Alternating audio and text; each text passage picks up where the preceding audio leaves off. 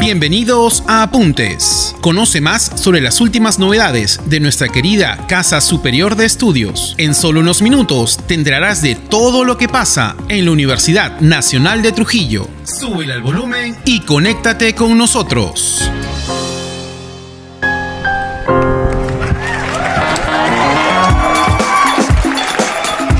Bienvenidos a esta vez a un programa más de apuntes y en esta oportunidad nos encontramos con alumnos de la Escuela de Ingeniería Materiales, que pues quienes están desarrollando un proyecto de sensibilización de medidas de preparación y respuesta ante multipeligros. Vamos a presentarlos. Eh, hola, eh, nos encontramos con Manuela Tenorio Viera. Mucho gusto con todos.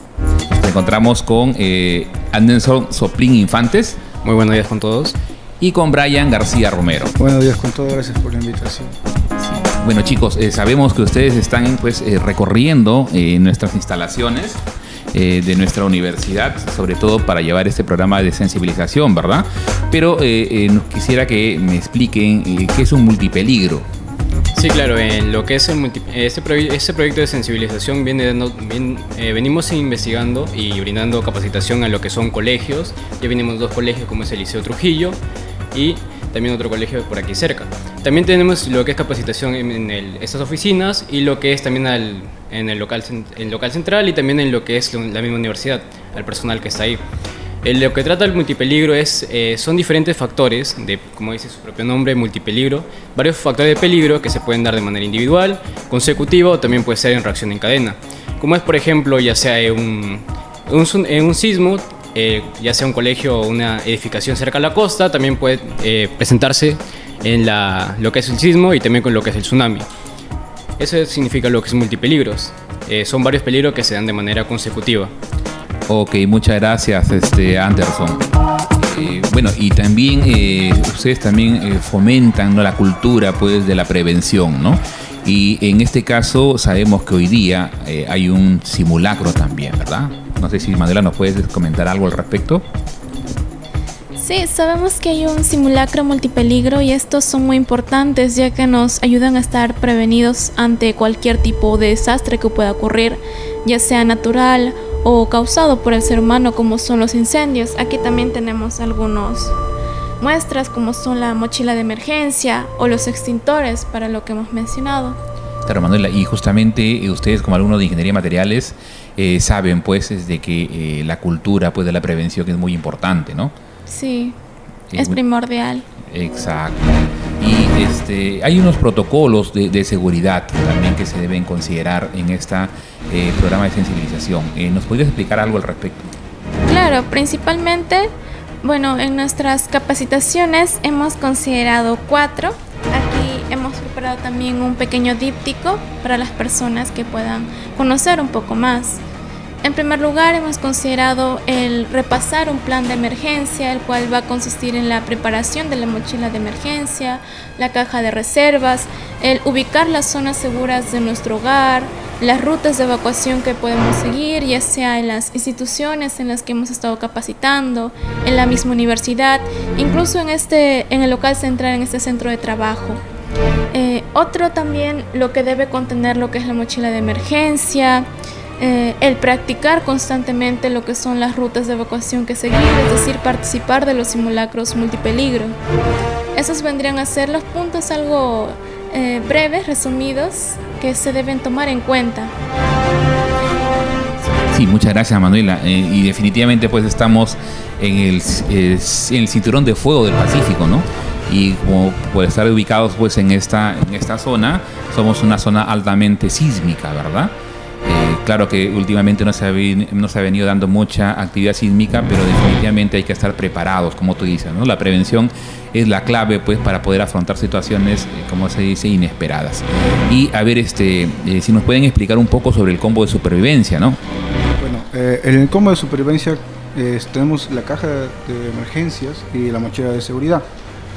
si bien es cierto, mira, por ejemplo, acá tenemos una mochila de seguridad, lo que principalmente que contiene, bueno, mi compañero va a sacar algunas cosas, eh, son alimentos, eh, bueno, el botiquín, que es muy importante para en caso de accidentes eh, que ocurren, el alcohol, el, algodón para accidentes, y también algunos alimentos enlatados, en atún, no perecibles, claro. Y bueno, eso sería todo eh, lo importante, la mochila de seguridad contiene mucho más, pero es lo que, lo que, lo queremos, lo queremos lograr es concientizar a la gente, prepararse, porque no muchas personas, tú preguntas, no tienen, no cuentan con, este, con estos protocolos como la mochila de seguridad.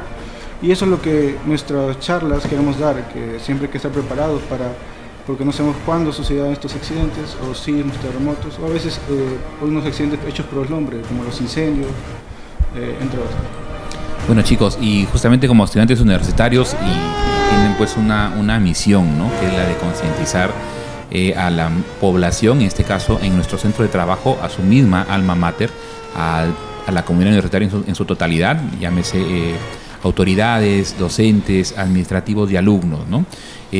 Eh, ¿Cuál es esta experiencia? Eh, ¿Qué tan eh, enriquecedora es para su formación profesional?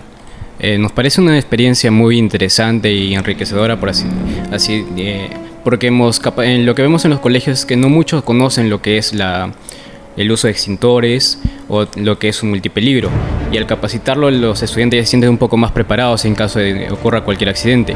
También en lo que es el personal eh, universitario, a veces tampoco no conocen.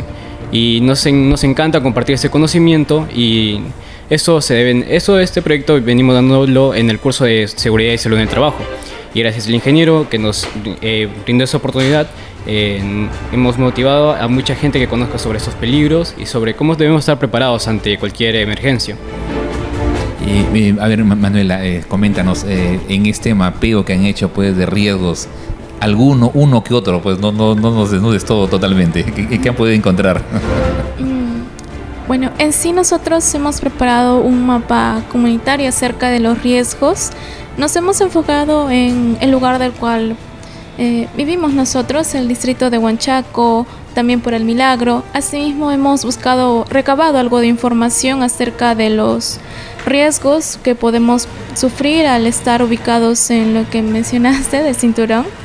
Y asimismo en la, cercanos a la costa, como es la libertad, como las inundaciones, los huaicos también por a veces el desconocimiento de dónde construir nuestras casas, o asimismo el, el mar eh, después de un sismo podría salirse también. Y eso ha pasado ya antes. Correcto. Y bueno, también estamos con Brian, ¿no? Brian, de repente algunas palabras eh, para eh, afianzar este programa, este proyecto de sensibilización que ustedes están realizando. Bueno, como mensaje podría decirse que lo importante de estar preparado frente a esos accidentes y estar siempre, o sea, practicarlo, las las eh, medidas de educación, las zonas seguras, todo eso es muy importante ya que así prevenimos accidentes, un familiar, o nunca sabe uno cuándo suceden esos accidentes, no sabemos, eh, podemos salvar vidas con, esto, con estos protocolos y prevenir, sobre todo prevenir estos accidentes, porque como vuelvo a decir, no sabemos cuándo sucederán, pero siempre hay que estar preparados. Ok chicos, muchas gracias por venir acá a Apuntes, les agradezco su plena predisposición por compartir el trabajo que están este, realizando eh, actualmente en beneficio pues, de nuestra comunidad universitaria, así también como de la comunidad liberteña en general. Muchas gracias a usted por invitarnos. Y también gracias a quienes nos han apoyado, ya que este, este proyecto, este programa no lo estamos realizando solos, sino también recibimos asesorías o compartimos también con otros grupos como los que hemos mencionado en nuestros folletos, como ASIMAT, e incluso el voluntariado. Y nuestra misma escuela también entre nosotros nos apoyamos y eso es algo muy valioso y sirve para poder compartir toda esta información y llegar a más personas. Ok, efectivamente, pues toda información que se comparte es muy valiosa, ¿no? La información que se tabula y se guarda, pues no sirve de mucho, ¿no? Bueno chicos, nuevamente mis felicitaciones y acá estuvimos pues con un programa más, Apuntes, y gracias por su atención. Muchas gracias. Esto fue Apuntes. Te esperamos en nuestra próxima edición. No te lo pierdas.